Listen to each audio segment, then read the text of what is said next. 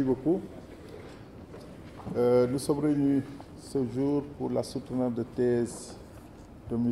Assega Sylvain Sagna sur le sujet suivant. Prise en charge des abdomens aigus chirurgicaux non traumatiques de l'adulte au centre hospitalier régional de Saint-Louis. Donc, c'est où? Voilà. Donc, pour juger ce travail, euh, nous avons un jury composé du professeur Adam Khan, qui est cardiologue, le professeur Ndoye Diop, qui est radiologue, le professeur Mamoudou Sissé, qui est chirurgien généraliste et qui, nous vient de Dakar, de l'UCAD, et le professeur Philippe Magnanka. Enfin, euh, moi-même, professeur Ibrahim Konaté, directeur de cette thèse et directeur de l'UFR Santé. Voilà. Euh, Monsieur Sagna, nous vous donnons la parole pour nous faire part des conclusions de votre travail. Euh, ensuite, vous allez vous soumettre euh, aux questions du jury. Voilà, vous avez la parole.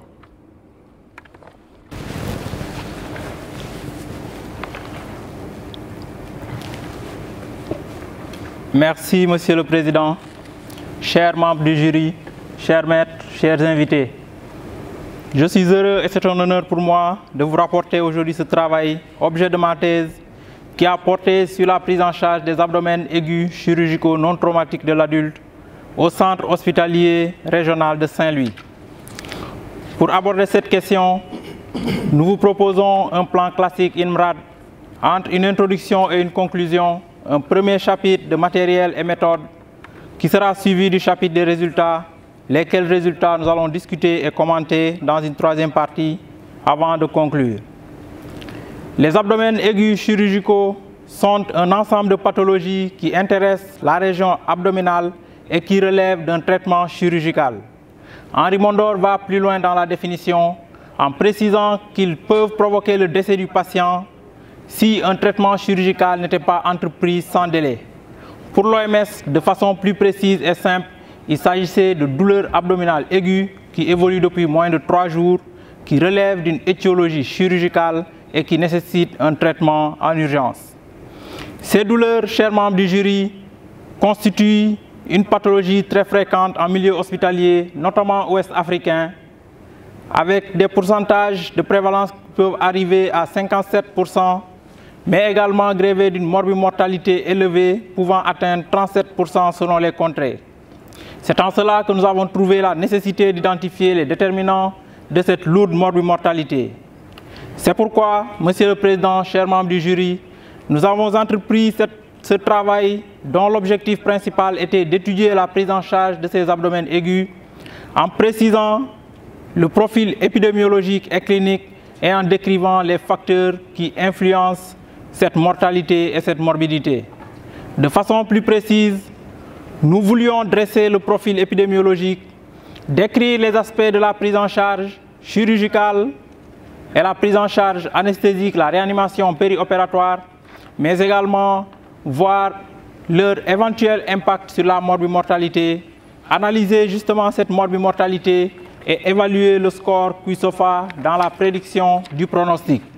Le score QSOFA est un abrégé du score SOFA, qui est un score qui nécessite des explorations biologiques, notamment de fonction hépatique et de coagulation, qui est connu pour être très performant dans la prédiction de la mortalité.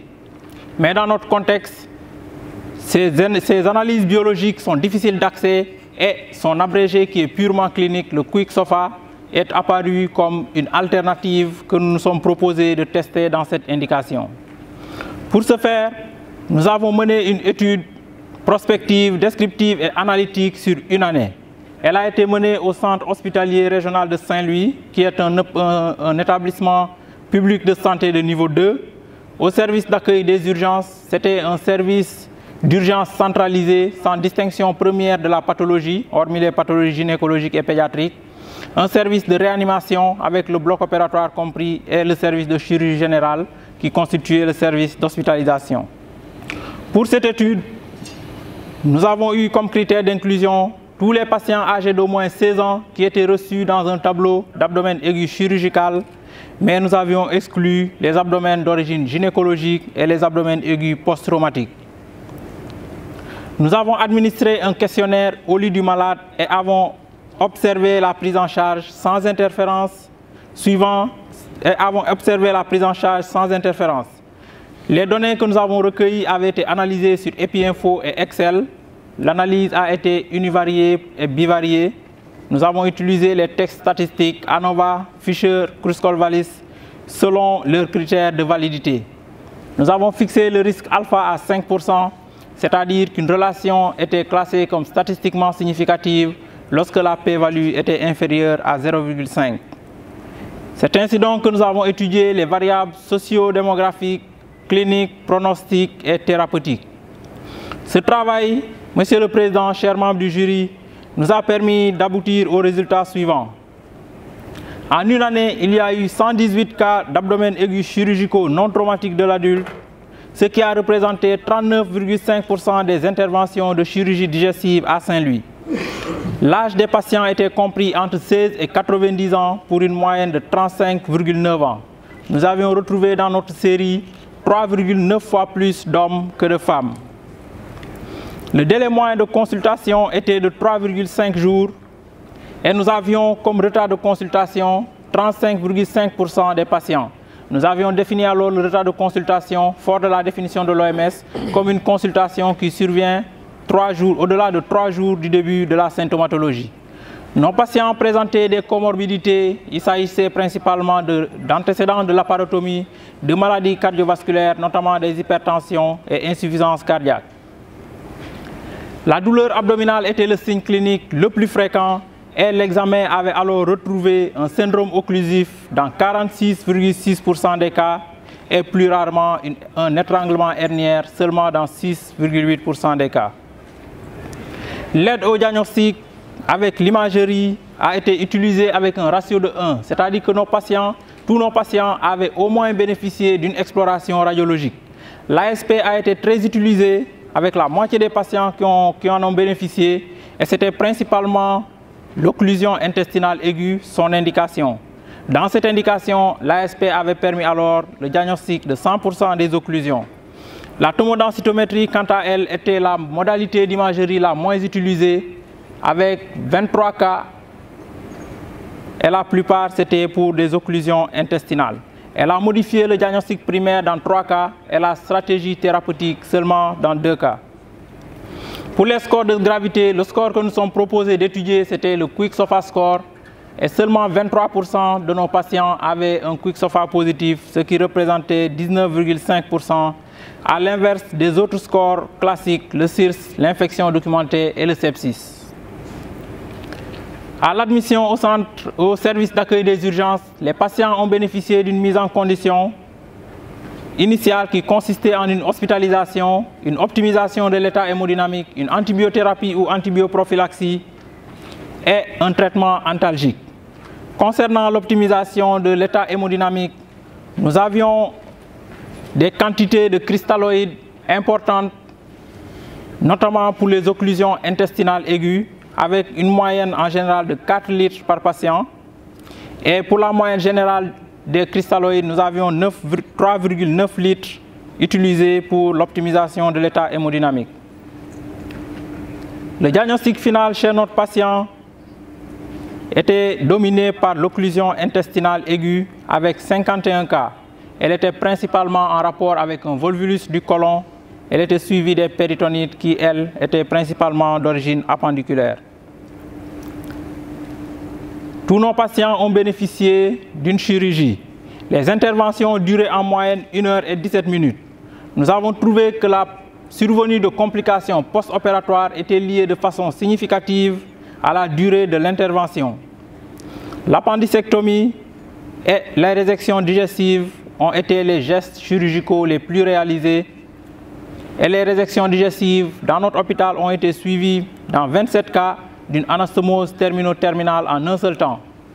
Nous avons cherché à savoir si cette attitude était corrélée à un risque plus grand de complications post-opératoires ou de mortalité, mais la relation que nous avions trouvée n'était pas significative.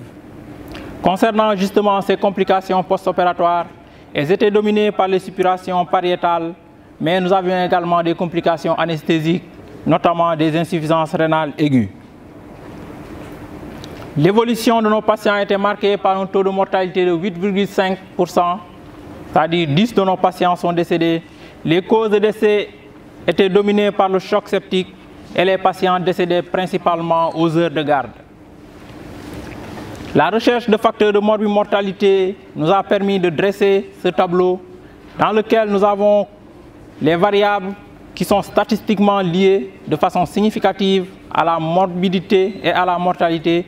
Il s'agissait du retard de consultation, de l'existence d'une comorbidité, du quick SOFA score positif, de l'instabilité hémodynamique périopératoire et du diagnostic même d'occlusion intestinale aiguë. Et ces éléments étaient, venaient renforcer les critères, les facteurs de morbidité classiques que nous avons également retrouvés, c'est-à-dire l'âge du patient et la durée de l'intervention qui étaient surtout liés à un plus grand risque de complications post-opératoires.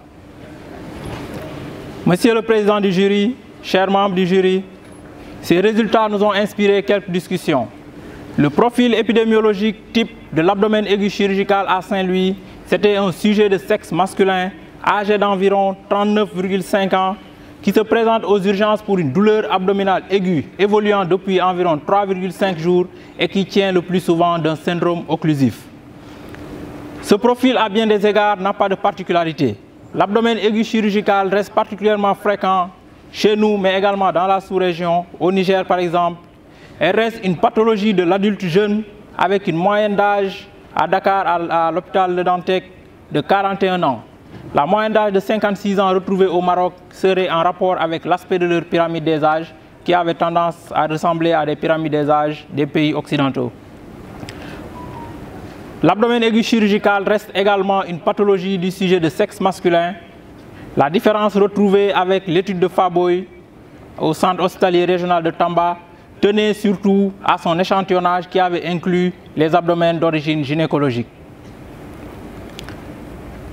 Le délai de consultation était également comparable à ce retrouvé à l'Edantec et à l'hôpital Saint-Jean-de-Dieu de Thiès. Le retard de consultation que nous avions défini comme une consultation qui survenait trois jours après le début de la symptomatologie était différent de ce qu'on euh, a trouvé à l'hôpital du Niger, à Zinder, parce qu'ils avaient défini le retard de consultation comme une consultation de 48 heures après le début de la, de la symptomatologie. Dans tous les cas, lorsque ce délai de consultation est supérieur à trois jours, il était lié à 70% de mortalité et cela de façon significative. L'utilisation des ressources d'imagerie a montré dans notre étude, comme dans les autres études au Sénégal, que l'ASP occupait une place importante dans l'exploration des abdomens aigus. La tomodensitométrie était par contre sous-utilisée, ce qui s'opposait exactement à ce qu'on retrouvait au Maghreb, à l'hôpital Mohamed VI du Maroc. Les, les recommandations en matière d'imagerie dans l'abdomen aigu chirurgical mettent au premier plan la tomodensitométrie. Mais dans une enquête sur la motivation des médecins et, leur connaissance sur la prescription de ces examens d'imagerie, on retrouvait que dans nos pays, l'ASP était prescrit davantage pour son accessibilité à la fois technique et financière, alors que ces mêmes médecins enquêtés considéraient que la tomodensitométrie participait à un retard diagnostique parce qu'il requiert des moyens financiers et une compétence particulière. Or, nous avons montré dans notre étude que nos patients étaient surtout reçus à des heures de garde dans notre structure hospitalière où il n'y a pas encore d'interne des hôpitaux. Pour le diagnostic final, il apparaissait dans notre étude comme une particularité. L'occlusion intestinale aiguë était au devant du tableau, contrairement aux études menées au Sénégal, mais également au Niger dans la sous-région. Ces occlusions intestinales, ces péritonites et ces appendicites retrouvés dans les autres études pouvaient être en rapport avec leur échantillonnage qui avait inclus les âges pédiatriques, mais également au Niger, Amadou avait décrit dans la même étude une épidémie euh, de salmonellose qui avait expliqué beaucoup de péritonites par perforation, intestinale. Concernant la prise en charge initiale aux urgences avant l'intervention, nous avions une optimisation de l'état hémodynamique avec 3,9 litres de cristalloïdes, ce qui s'approchait des résultats retrouvés par Faboy au CHR de Tamba mais s'opposer à ce que Raza, a trouvé à Madagascar. le défaut de remplissage était corrélé à une plus grande mortalité dans notre étude, mais cette relation n'était pas significative, contrairement à ce qu'on a trouvé à Madagascar, où la moyenne de remplissage préopératoire était de moins d'un litre.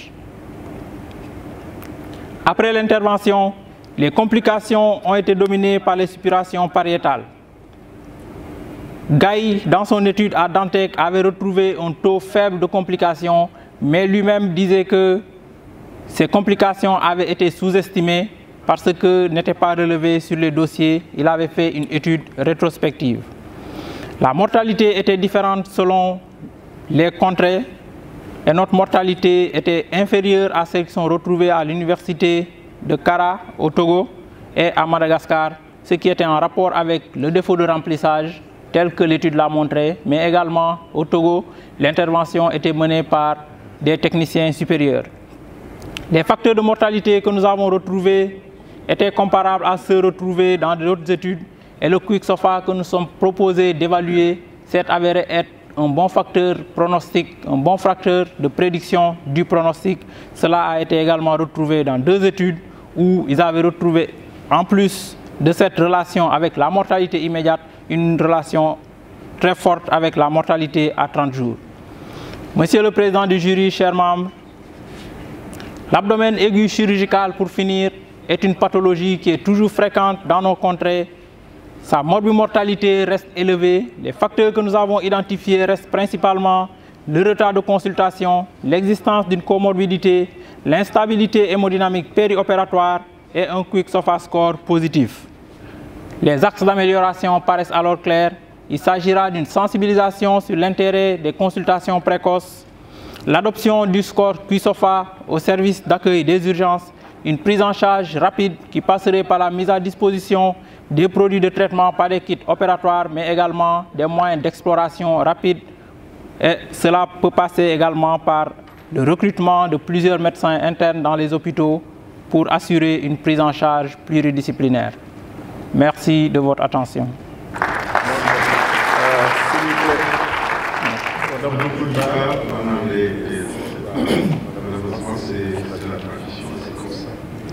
Donc c'est pas, c'est une cérémonie solennelle au cours de laquelle il n'y a pas d'applaudissements.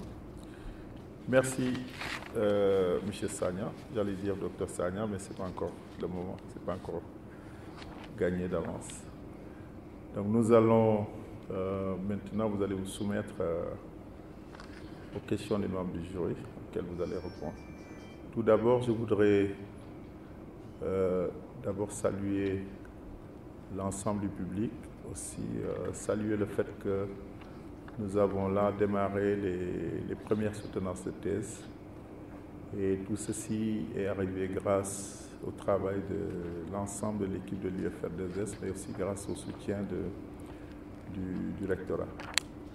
Donc je voudrais aussi que vous reconnaissiez que cette thèse, elle a commencé par une thèse de chirurgie, mais ça aurait pu être n'importe quel d'entre vous. Et je voudrais remercier solennellement euh, le professeur Diagne euh, pour le travail qu'il a abattu pour que tout soit, soit possible. Avec son équipe, l'ensemble de l'administration, également l'ensemble du public, et puis encourager également les autres à faire de même que c'est possible. Donc je vous donne la parole pour, euh, je vous donne la parole au professeur Philippe Manianka, asseyez-vous, pour euh, faire des critiques également, éventuellement poser des questions. Merci. Professeur Philippe Manianka, vous avez la parole.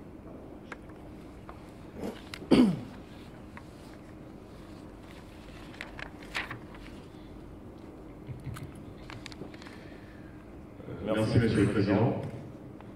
Bonjour à tous. Bonjour, euh, Monsieur Sagna. J'ai failli dire docteur aussi, mais je n'ai pas la permission du, Président, donc Monsieur Sagna. Alors, avant d'entrer dans les critiques de votre document, j'aimerais euh, d'abord remercier l'assistance. Et si Monsieur le, le Président du jury me le permet de dire un petit mot, donc dire qu'aujourd'hui, quand même, il faudrait qu'on se rende compte que c'est un jour historique aujourd'hui. Aujourd'hui, c'est la première thèse d'exercice de médecine de l'Université Gaston Berger. Donc, je pense que c'est un jour à marquer d'une pierre blanche. C'est assez particulier. J'aimerais également vous remercier, euh, M. Sagna, de m'avoir euh, convié à ce jury et de m'avoir offert la possibilité euh, d'examiner votre travail.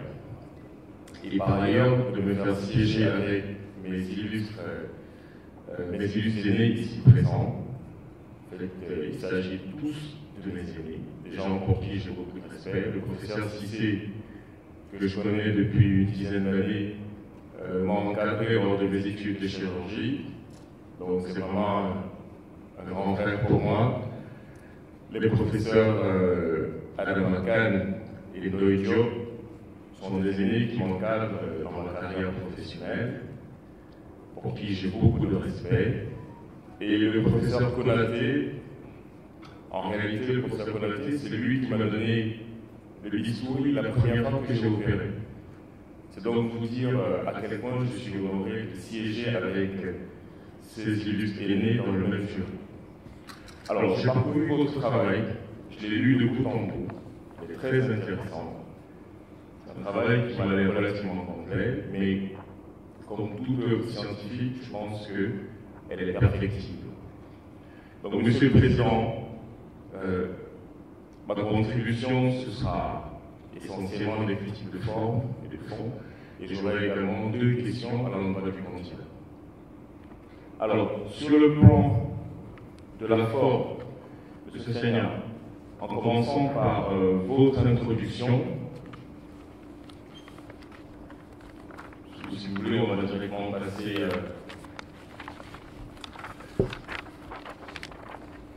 au rappel anatomique. Hein. Je vais commencer par. Je vais d'abord prêcher pour ma chapelle. Excusez-moi. Donc, d'abord, les rappels anatomiques. Au niveau de la page 4, euh, en ce qui concerne la rappel anatomique sur la paroi abdominale, le premier chapitre, quatrième ligne, vous dites que la cavité abdominale est limitée par une paroi musculaire au niveau type de diaphragme et par les muscles du bassin. Alors je pense ici qu'il faut préciser d'emblée que les limites entre l'abdomen et le bassin sont essentiellement osseuses. C'est le détroit supérieur. Vous l'avez mentionné un peu plus bas. Donc je pense qu'il faut d'emblée préciser ces limites. Un peu plus bas, vous dites que ces formations sont suspendues et supportées par deux anneaux osseux, en parenthèse le bord inférieur du thorax. Je crois qu'ici vous vouliez parler de l'orifice inférieur du thorax. Voilà. Donc il faut, euh, faut bien le préciser. Sur la même page, dans le chapitre sur le territoire, au niveau du quatrième paragraphe, vous parlez de l'espace extra-péritonéal pelvien. Ici, il faut préciser qu'il s'agit de l'espace pelvie sous-péritonéal, c'est-à-dire l'espace qui est situé entre le péritoine pelvien et les organes pelviens. Ces organes pelviens sont contenus dans un espace appelé espace pelvie sous-péritonéal. Toujours sur cette même page, sur la dernière ligne, vous avez parlé de omentum et épipon. Alors, le terme épipon n'existe plus. C'est l'ancien nomenclature. Toujours sur le plan de la forme, j'ai noté également qu'il y avait euh, quelques coquilles un peu plus loin dans votre document. Nous sommes dans vos résultats, au niveau de la page 29, vous parlez ici euh, du délai de consultation. Alors, le délai de consultation, il faut le définir. Est-ce que c'est la durée entre le premier symptôme et la consultation proprement dite Ou est-ce que c'est la durée entre le diagnostic complet, c'est-à-dire, dans ce cas précis, un symptôme suboclusif ou un abdomen aigu et le diagnostic est posé à l'hôpital. Je pense qu'ici, avant de donner ce résultat, il faudrait définir ce que vous entendez par délai de consultation. Alors, on va un peu plus loin dans votre document. Euh, page 33, c'est toujours un résultat. Vous avez exposé une radiographie d'ASP. Ici, il faut préciser cette face c'est de profil. Il faut orienter le guichet. C'est un joli guichet, mais je pense que vous gagnerez à, à l'agrandir ce guichet. Il est très intéressant, il illustre bien euh, votre travail. Alors, j'ai également noté euh, dans votre résumé en anglais, il y avait que de nombreuses erreurs qui étaient glissées. Je pense que c'est des, des, erreurs qui sont probablement inhérentes à la traduction du texte de français vers l'anglais. Je pense qu'il y a certaines phrases qu'il faudra, qu faudra reprendre. Donc ça, c'est ce que je vous dire sur le plan de la forme. Alors maintenant, sur le plan du fond, je reviens sur vos rappels anatomiques. Nous sommes au niveau de la page 4. Je dois dire que vos rappels anatomiques sont certes euh, succincts, mais il faudrait les étoffer un peu plus. Ce d'autant plus que certaines pathologies qui rentrent dans le cadre d'un abdomen aigu sont directement liées à l'anatomie même de la cavité abdominale. Par exemple, vous avez parlé du péritoine, vous avez parlé du, rétropéritoine, mais vous avez par exemple omis de dire qu'il existe au niveau de l'abdomen trois espaces. Un espace rétropéritonéal, un espace intrapéritonéal et également le péritoine accolé que les chirurgiens connaissent bien, qui contient des organes tels que le duodenum pancréas, le côlon ascendant, le côlon descendant. Donc ça, au niveau de l'anatomie, il faut le dire rapidement. Lorsque vous parlez de la vascularisation et de l'élévation du péritoine, il faut préciser le feuillet viscéral, le feuillet pariétal, etc. Je crois qu'il faut également faire un rappel embryologique. Vous ne l'avez pas fait, pourtant c'est très très important. Par exemple, au niveau de l'abdomen, lorsqu'on parle d'étage sus-mésocolique ou sous-mésocolique, lorsqu'on parle de loges euh, sous-phréniques, qui sont des loges dans lesquelles on va retrouver certaines collections pathologiques, ces étages et ces loges ont une origine embryologique. Donc je pense qu'un rappel embryologique ici est très important. Par ailleurs, votre rappel histologique faudrait également l'étoffer.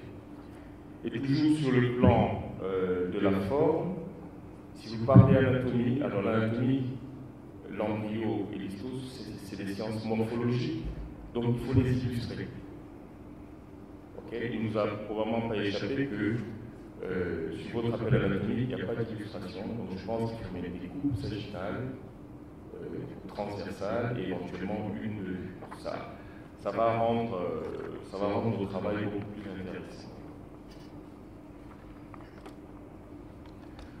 Alors, toujours cette fois sur le fond, page 9, nous sommes au niveau du diagnostic de l'abdominologie chirurgicale. Alors, vous parler du diagnostic euh, positif. Au niveau du diagnostic paraclinique, je vais vous faire la même remarque. Je pense qu'il aurait été intéressant ici, par exemple, de, euh, de mettre en place une image tomodensitométrique d'une occlusion, par exemple une occlusion sur ride, ou d'afficher une iconographie, une appendicectomie, etc. C'est des, images qui peuvent vraiment enrichir votre travail.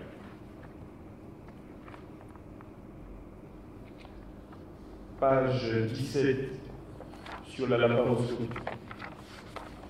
Alors, vous avez parlé euh, du principe de la laparoscopie. Je crois que euh, vous gagnerez à préciser qu'à Saint-Louis, euh, nous avons la chance de bénéficier de la chirurgie de la laparoscopie depuis quelques mois et que cette chirurgie a changé les protocoles, aussi bien les protocoles anesthésiques que les protocoles chirurgicaux. Et notamment dans le jury, on a l'un des pionniers de la laparoscopie à Saint-Louis en la personne du professeur Mamadou Cissé. D'accord? Donc, dans vos documents, je crois qu'il serait intéressant de préciser que la laparoscopie a positivement changé nos habitudes chirurgicales et qu'elle représente un bénéfice aussi bien pour nous, chirurgiens, que pour les patients. Alors, pour terminer, Monsieur le Président, j'ai deux questions à soumettre au candidat. La première question, c'est d'après votre, votre travail, quels seraient selon vous les principaux facteurs limitants dans la prise en charge des abdominaux aigus C'est-à-dire que si vous deviez formuler des recommandations à l'endroit des équipes anesthésiques et chirurgicales de l'hôpital régional de Saint-Louis, quelles seraient-elles pour améliorer de façon générale la prise en charge des abdominaux aigus Ça, c'est ma première question. Ma deuxième question concerne le counseling aux patients en urgence, c'est-à-dire le fait de préparer psychologiquement un patient à l'intervention qu'il va suivre. Est-ce que dans votre étude, ce counseling a été fait? Si oui, à quel moment il a été fait? Il a été fait par qui? Il a été fait où? Je pense que euh, c'est très important parce que euh, très souvent, on a un manque d'information entre les équipes soignantes et les patients. Et euh, dans ce cas, surtout dans le cas d'un contexte d'urgence, je crois qu'il est très important de procéder à, à cette préparation psychologique. Euh, J'en ai terminé, Monsieur le Président. Je vous remercie. Merci, professeur Manianka. Alors, M. Sagna, professeur Manianka a fait des remarques sur votre travail. Euh, il a fait des remarques très, très, très pertinentes, notamment dans son domaine d'expertise très importante. Alors, le professeur Manianka est chirurgien, mais en même temps anatomiste. Sa discipline universitaire, c'est l'anatomie, mais aussi il est un chirurgien avéré et aguerri. Il vous a posé deux questions. Alors, veuillez répondre, s'il vous plaît, M. Sagna, à toutes ces questions. Merci, Monsieur le Président, de me redonner la parole. Merci, cher maître, pour l'intérêt que vous avez montré pour notre travail. Et merci pour ces questions pertinentes. D'abord pour les remarques que nous, ne, que nous ne manquerons pas de prendre en compte.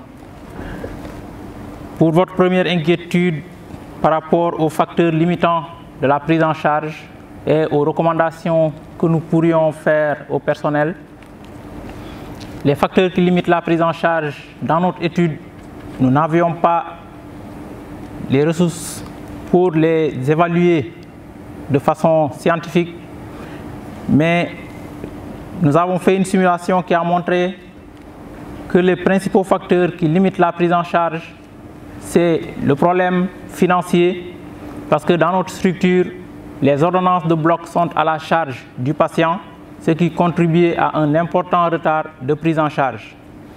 Nous avions également comme autre facteur les moyens de l'exploration paraclinique qui également manquaient et retardaient la prise en charge.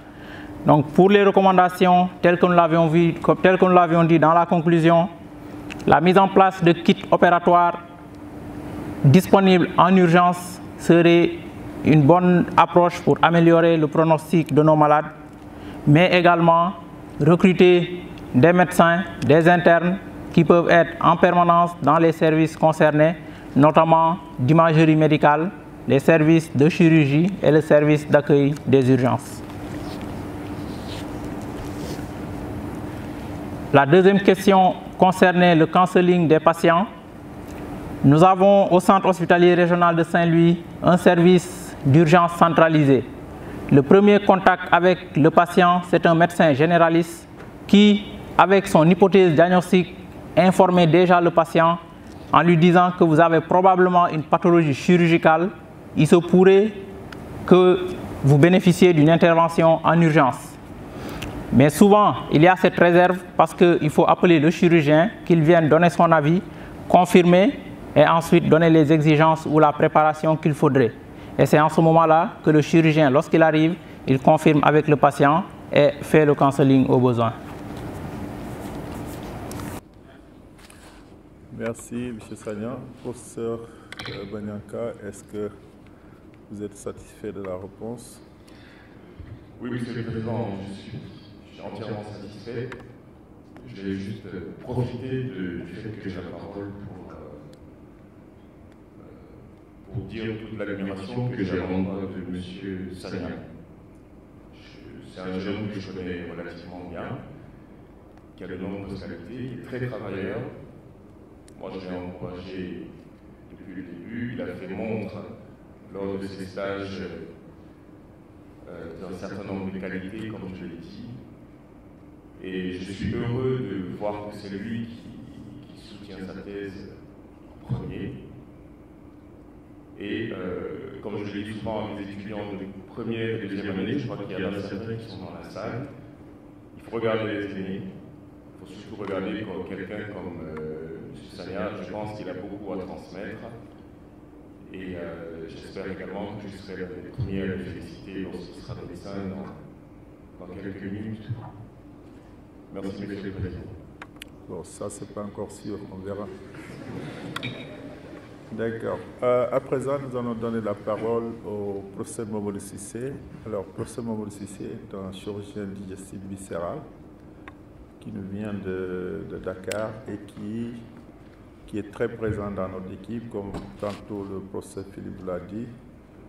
Non seulement il participe aux enseignements, mais il participe également aux, activités chirurgicales. Professeur Sissé, vous avez la parole pour juger ce travail. Merci. Merci, Monsieur le Président. Donc, nous remercions M. Sagna de nous avoir choisi comme membre de jury de sa thèse, ce qui nous donne l'occasion de participer à cette première historique, mais surtout de siéger à côté de notre maître, le, professeur Ibrahim Konate, qui est pour nous un grand frère et pour qui nous avons un, grand respect parce qu'il a participé à notre formation et nous a beaucoup soutenus tout au long de notre cursus. Et c'est l'occasion pour nous ici donc de lui témoigner notre gratitude et notre reconnaissance. Donc nous siégeons également à côté de nos collègues et amis, les professeurs Ndoye Diop et, et professeur Khan. Je les confonds parce qu'ils ont les mêmes qualités en fait, surtout des qualités scientifiques.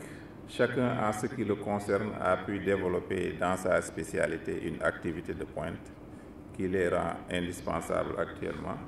Et c'est donc pour moi ici l'occasion de les remercier et de les féliciter pour tout cet engagement au, profit des malades.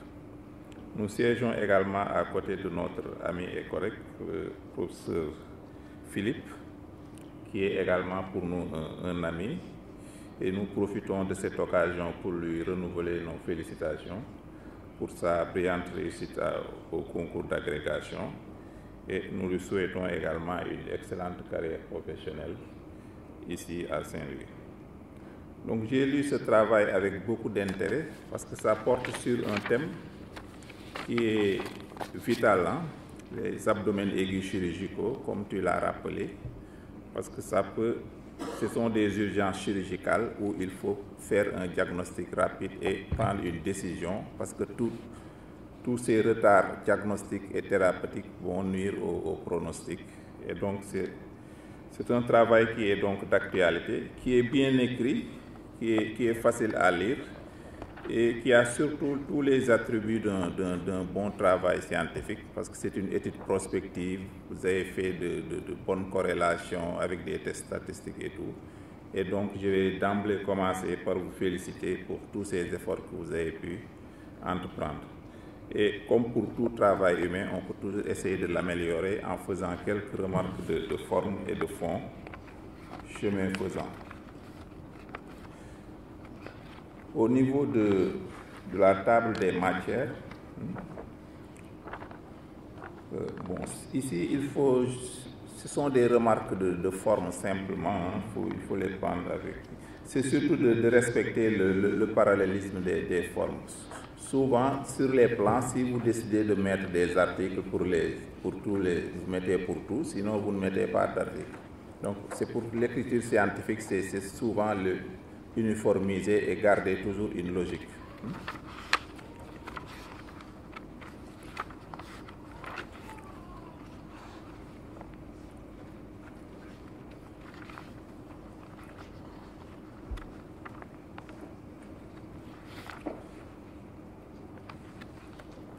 Au niveau de la page 9,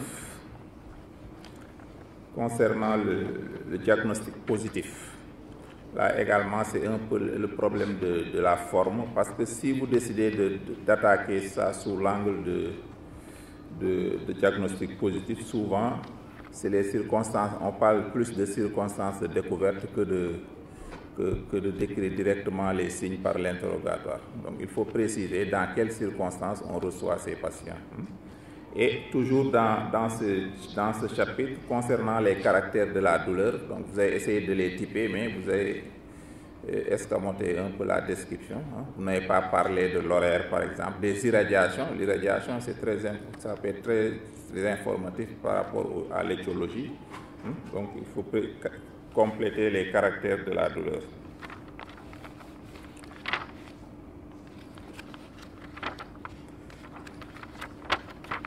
Au niveau de la page 12, donc c'est en fait la fin des, rappels diagnostiques.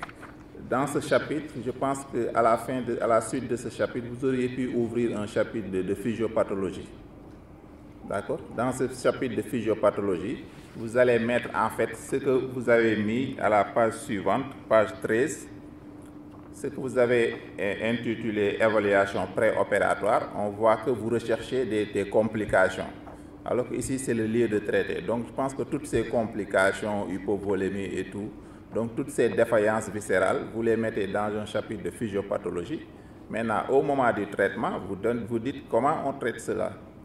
Parce que c'est ça qui s'est un peu passé lors du chapitre de traitement, par exemple vous décrivez comment évaluer l'hypovolémie, mais vous ne dites pas comment traiter l'hypovolémie.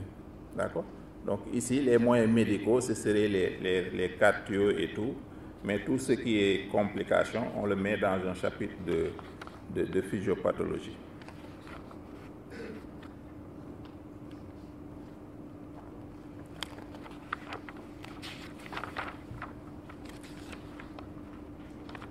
Au niveau de la page 18, euh, concernant la, colostomie. Donc la colostomie, quand elle est terminale, le pouls distal n'est pas forcément fixé à la peau. Hein. Elle, peut être laissée à l'intérieur, comme dans la colostomie selon Hartmann.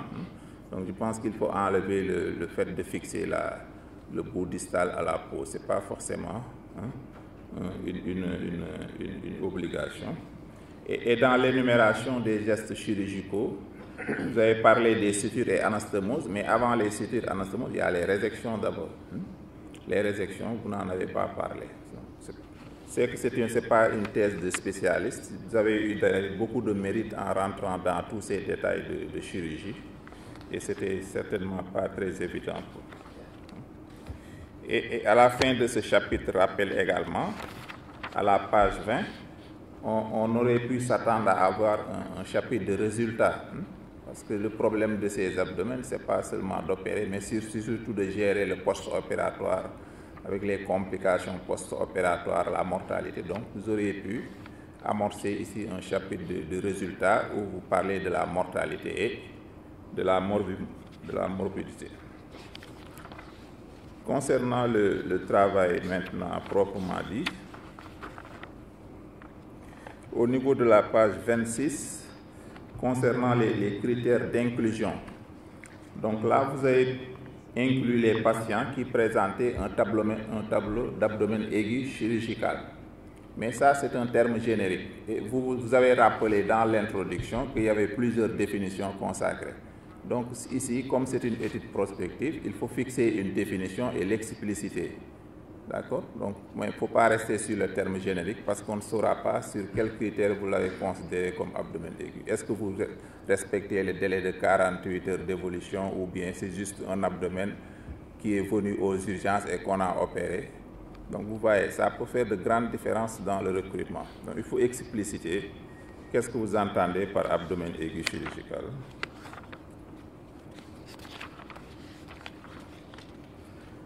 Au niveau de la page 30 également, concernant les, signes généraux, ce qui a un peu frappé, c'est que dans la série, on n'a pas senti au niveau des signes généraux euh, des patients qui seraient reçus en état de choc ou pas.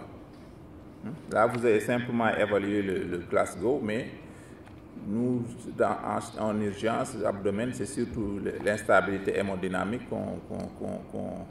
Est-ce qu'il y avait des états de choc ou pas? Je pense qu'il faut, il faut les, les mettre à ce niveau-là. J'ai vu que plus tard, en développant, vous avez parlé de précarité hémodynamique, hein, mais c'était dans le traitement, mais je pense que ça, c'est un signe déjà de général qu'il faut mettre à la bonne place. À la page 31, euh, donc concernant le, le chapitre sur l'hémogramme, Là également, souvent, vous mettez beaucoup de commentaires qui devaient être fixés dans la méthodologie. Donc la définition opérationnelle des, des, paramètres, on les met dans la méthodologie. Donc là, vous ne donnez que les résultats. Donc il ne faut pas attendre les résultats pour dire que nous allons considérer ça comme étant ça. D'accord? Donc vous mettez tous ces préalables dans la méthodologie et donc vous donnez les résultats directement.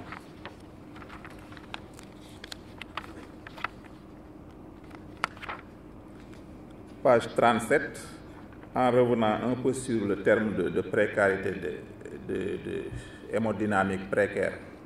Je pense qu'il y a une certaine ambiguïté. Bon, on a senti un peu l'influence peut-être de votre co-encadreur, le docteur Dieyou, hein, sur, les termes anesthésiques. Mais nous, il faut qu'on ait le, le, la limite. Est-ce qu'il y a état de choc ou est-ce qu'il n'y en a pas? Mais précarité, c'est un peu ambigu pour nous parce que les réponses ne sont pas forcément les mêmes.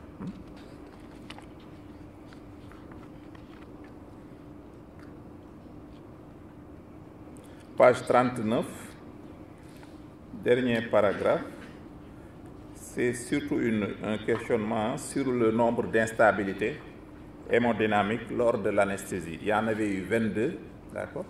Et en préopératoire, on avait 11, 11 précarités. Donc ça veut dire que 11 patients se sont aggravés lors de l'anesthésie. Donc ça, ça peut poser ici le problème peut-être de la préparation préopératoire et surtout de l'impact du retard de, traitement. Parce qu'on peut recevoir un patient, bien, bien le réanimer et tout, mais si on ne l'opère pas dans les délais, cette réanimation peut perdre de son efficacité. Et donc, même s'ils sont supposés bien préparés, quand on les installe, la, la défaillance peut être aggravée par le stress chirurgical qui, qui va s'y ajouter.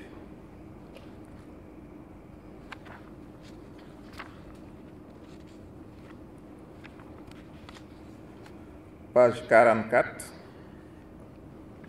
Donc, il s'agit de la, de la figure 20, 21. C'est surtout le, le terme de, de, de, lâchage de suture. Dans les...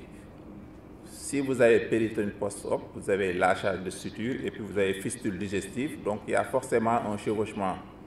Donc, est-ce que les lâchages de suture, ça donne soit une péritone post-op, soit une fistule? Donc, je pense que vous aurez pu les fondre dans les deux autres sous-chapitres.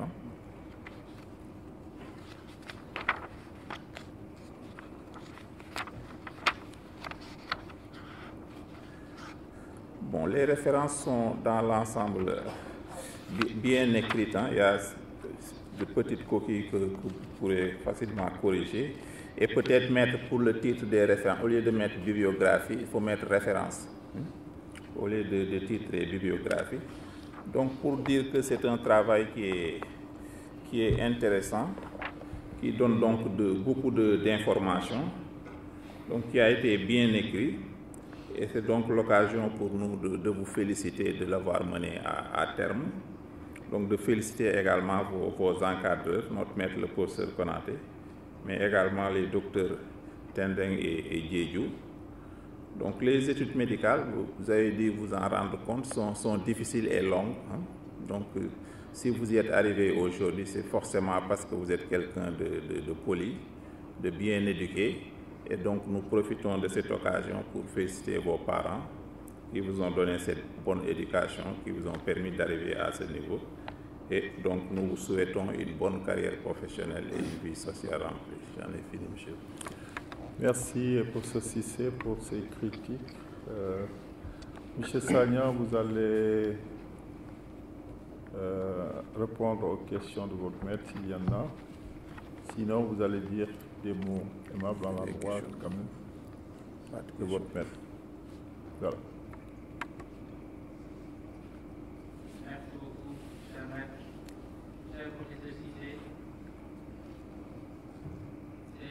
Comme l'a dit Monsieur le Président, euh, de vous exprimer ici notre gratitude. C'est très vite et avec une spontanéité extrême que vous avez accepté de faire partie du jury et de juger ce travail, malgré vos occupations à Dakar. Nous savons combien il est difficile de quitter Dakar, d'abord d'avoir le document, de le lire en totalité, puis de faire le déplacement pour venir participer à notre humble travail. Nous continuerons toujours de vous en être reconnaissants et d'ici là, nous continuons également d'être votre élève fidèle. Merci beaucoup. Merci. C'est. Merci beaucoup. Alors, nous allons à présent donner la parole à votre maître, le professeur Kahn, qui est un cardiologue. Mais comme vous savez, tous les malades chirurgicaux aussi ont, un cœur. Donc, il faut qu'il y ait un avis cardio.